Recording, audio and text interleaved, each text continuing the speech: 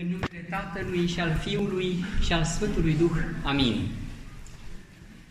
Hristos se naște, slăviți în Hristos din ceruri, întâmpinați-L. Iubiți credincioși, nașterea Mântuitorului Hristos,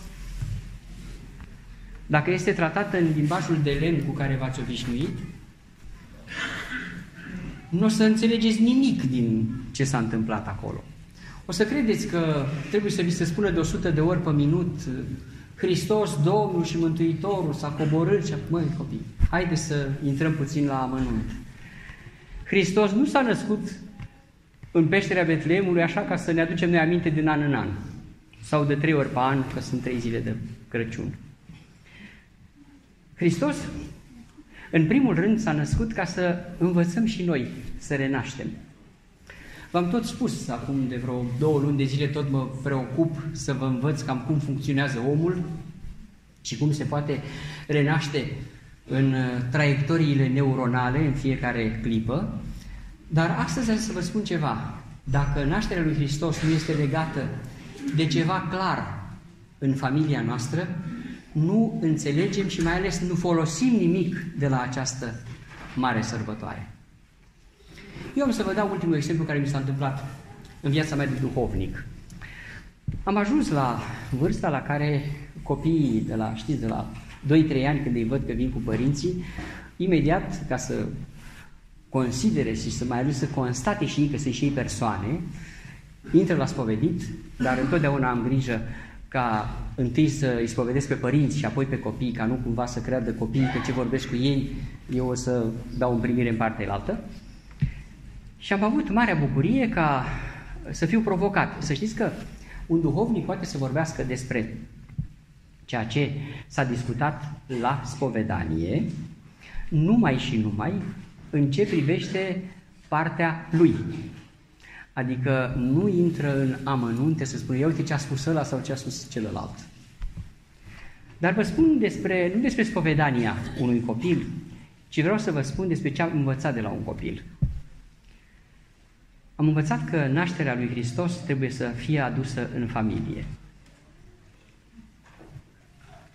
Este vorba de nepoata mea de patru ani și trei luni și jumătate, care așteaptă un frățior și are o nelămurire. Uh, și anume, zice, Bubu, am aflat că se naște pruncul Iisus. Da, dar uh, atunci, sora lui când s-a născut? Iubiți și cam așa se pune problema. Dacă nu suntem în stare să aducem evenimentul la noi în casă, n-am făcut nimic.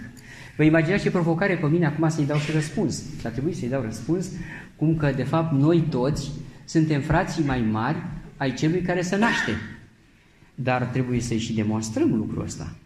Trebuie să avem și noi o anumită atitudine așa cum se pregătește ea să vină micuțul ei frățior Aris, Teodor.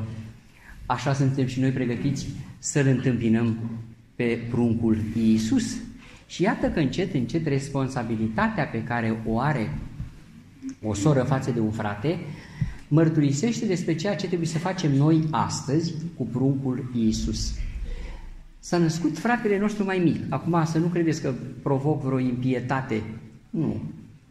S-a născut fratele nostru mai mic pentru că numai pruncii pot intra în împărăția lui Dumnezeu. Adică dacă nu vom fi ca pruncii, nu vom intra acolo. S-a născut fratele nostru mai mic pentru că așa de mult s-a smerit Dumnezeu, încât ne-a lăsat ca atunci când ne apropiem de El să nu ne speriem cât e El de mare, ci se face El mic și vine la noi. Chiar mi-aduc aminte că în postul acesta am avut o altă mare bucurie, când am uh, spovedit pe un uh, fiu duhovnicesc care împlinea 11 ani. Și mi-am adus aminte imediat că aceea era vârsta la care eu m-am spovedit prima dată la Părintele Arsenie de să odihnească. Acum vă imaginați că nu aveam eu atâta deschidere la vârsta aceea, mai ales că 11 ani de acum nu mai seamănă cu 11 ani de atunci. Nu știam că o să urmeze încă 35 de ani de drum duhovnicesc extraordinar de bine luminat de Părintele Arsenie. Și mi-aduc aminte de prima spovedanie și atunci când văd băieței, mai ales la vârsta de 10-11 ani, încep exact cum zicea Părintele Arsenie când m-am dus eu prima dată. Și exact acest lucru mi-a zis. Să nu te sperii Dumnezeu că e mare, că El atunci când vine la tine se face mic ca tine. Și te cheamă pe tine să te faci mare ca El când te duci cu gândul spre El. De aceea, nașterea lui Hristos înseamnă lucruri adevărate, clare. Și ca să înțelegeți și mai bine, ce înseamnă cu forfota asta a sărbătorilor pe care, mă rog, mulți o blamează, eu sunt foarte uh, de acord pentru că bucuria, să știți că are mai multe aspecte. Am văzut, de exemplu, bucuria unui copil hiperactiv, care nu seamănă deloc cu bucuria unui copil introvertit. Și am spus așa, dar ce copilul hiperactiv se bucură într-un fel și celălalt se bucură în alt fel? Nu, toți se bucură. Bucuria este praznicul și noi toți gustăm din praznic în felul nostru. Unora le place să facă piața, Chiar mulți dintre cei pe care îi vedeți cu un căruț sau două de alimente sunt absolut conștienți de faptul că nu vor putea încăpea în ei atâtea bunătăți. Chiar uh, îmi spunea cineva că a gătit în fiecare an foarte mult și acum s-a gândit să gătească la un sfert, că tot va fi mult. Și zic, dar soro, de ce? Aruncai prea mult? A, ce? Nu, de aruncat era problema, că la câți vecini am aici neputincioși, n-am aruncat niciodată nimic. Le-am dus lor. Numai că timpul pe care l-am investit stând lângă aragaze și cuptoare, nu mi l-a mai dat nimeni înapoi. Așadar, încet, încet, începem să învățăm. Dar ca să vedeți cât de încet începem să învățăm, se spune că într-una din zile ajunge în sfârșit la poarta raiului, cine credeți, Gică Evlaviosul, care avea aici în, în, în frunte un semn de la atâtea metanii câte băgase el pe secundă la fiecare acatist și avea coatele și genunchii fără piele aproape pe ele, de ce evlavios era și câte acatiste făcuse. Și l-a văzut într-un colț pe, pe Sfântul Apostol Petru, care se știe din tradiție că este cu cheile, care probabil că și, și updatase sistemul de iale și avea ceva electronic, avea, adică un laptop. Și a întrebat matale cine ești. Și când vă duceți la câte o întrunire de asta mai pricopsită, te întreabă cineva la poartă. Mata, ce ești? Te bag acolo? Ce? Da, ești. Hai, intră. Păi zice, eu sunt Gică Evlaviosul, mi se zice. A, ce dacă vi se zice așa, nu, că vă găsești așa. Caută Sfântul Apostol, nimic. Mai dă câteva pagini așa, tot nimic. Zice, nu ești aici, vezi la echipa elaltă, mai în jos. Atunci fratele nostru Evlaviosu, fratele Gică, a început să-și dea rampa pe față. Păi bine, toată viața m-ați mințit că dacă bag metanii, că dacă fac acatiste, că dacă citesc nu știu de câte ori și mă scol noaptea și eu uite nu mai am nici sprâncene de la lumânările în care am picat cu somnul în ele și mi-au ars. Păi așa sunteți voi, niște neserioși și toată viața mi-am crezut că o să ajung în... Și la un moment dat îl bate Sfântul Apostol. Zice, auzi, candid camera, ai fost filmat cu camera ascunsă. Imaginați-vă și dumneavoastră acum pe cei care vin și apostrofează pe ceilalți. Nu luau pe aici, iau pe dincolo. Ăștia cu siguranță sunt așteptați de Sfântul Apostol ca să le arate rezultatul de la Candid Camera. Va să zic că nașterea Domnului, dacă nu trece prin noi, n-am făcut nimic. Dacă nu plecăm acasă Uh, descătușați de limbajul de lemn în care să vorbim 5 minute nimic. Că Hristos, Domnul și Mântuitorul nostru, care s-a născut în peștera de la Betlehem, pot să vă vorbesc așa până poimine. Până poimine, vă spun sigur. Și să nu vă spun nimic. Eu vreau să vă spun că astăzi praznicul este în noi. Hristos acela pe care îl vedeți voi, care pentru nepoata mea este frățiorul pe care îl așteaptă, ne învață că putem să ne naștem în fiecare zi, dar mai ales astăzi este o zi extraordinară, Pentru că este astăzi. Mâine o să vă spun la fel, că tot astăzi este, că mâine va fi și el astăzi. Dar nu mâine, nu mă refer niciodată la mâine. Astăzi este un prilej în care să ne scormonim în noi, să vedem dacă mai avem scutece, dacă mai avem posibilitatea să ne schimbăm, dacă mai avem posibilitatea reînnoirii. Și anume ce să facem? Păi să ne aducem aminte de cei de care nu ne-am adus aminte de multă vreme. De cei pe care i-am considerat într-un fel și ei sunt altfel.